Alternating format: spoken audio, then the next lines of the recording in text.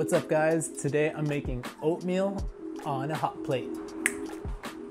I got this hot plate when I first opened the gym along with the set of pots and pans that I've never used. So I'm pretty excited to finally use it and this oatmeal is gonna be lit. It's gonna be really tasty and yeah, I'm gonna make it on a hot plate. You can make it in the microwave, but this video is specifically for a hot plate or a stove. Cool, so you're gonna get your pot, you're gonna throw that bad boy right on top. I have the burner, the eh, burner's been preheating for about five minutes. Sounds like it's hot and ready to go. And you're gonna put a cup of water into the pot and you're gonna let that bad boy boil. Bad boy boil. If you have a Sprouts next to you, check this out. You can help save the environment by getting one of these reusable drawstring bags. This holds two pounds of oats. So I got my two pounds of oats for like less than $2. And this little scooper from my NutraBio protein is exactly half the scoop of oatmeal. So I'm gonna use that. Boom, right there. So remember, half cup of oats to one cup of water. And then after it's done cooking, I'm gonna cool it with some almond milk.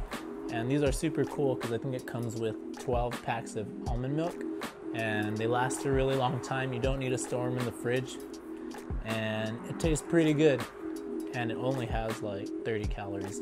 So that's always good. Last but not least, got my chia pudding that my boy Oakley Dokley recommended. Check that out. I'm gonna throw this on top of the oatmeal and you guys are gonna see it's gonna come out perfecto momento. Um, so yeah, guess we'll just wait for that to boil. Shout out to Susan Boyle. Oh, snap. I'm also gonna be adding these almonds that I got from Sprouts.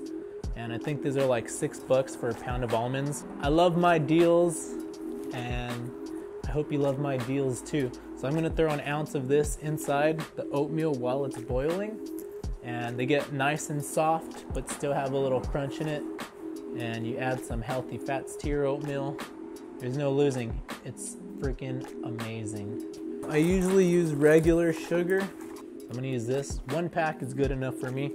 Oh, the water's boiling. Hey! All right, so you're gonna take the lid off I have the heat on medium. I'm gonna bring it to like between low and medium. I'm gonna throw that half cup of oats in there. Throw like half a scoop more. Throw that in there. And hold on, let me show you. This looks amazing. All right, look at that. So you're gonna stir that for about a minute. And get that out of the way. And then a handful is about one ounce. I'm gonna sprinkle that on top of there. Uh huh. Gonna grab your spoon and give that a little mix. Yummy.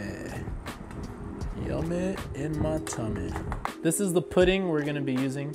Chia pudding recommended by Oakley Dokley. Check his Instagram out. Shout out to GVK. But anyway, this is the chia seed pudding. I think I let him cook too long. But no worries. That's what cooking's all about. It's all about experimenting and learning.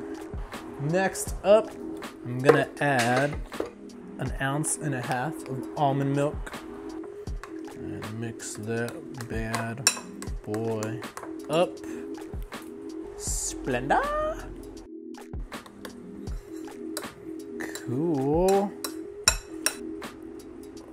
Ooh. There it is. I guess that's it, huh? There you have it. There's my chia bowl with oatmeal and almonds and Splenda and almond milk.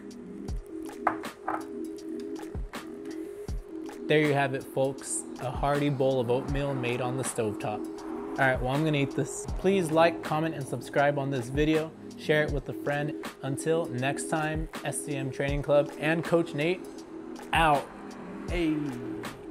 All right, peace.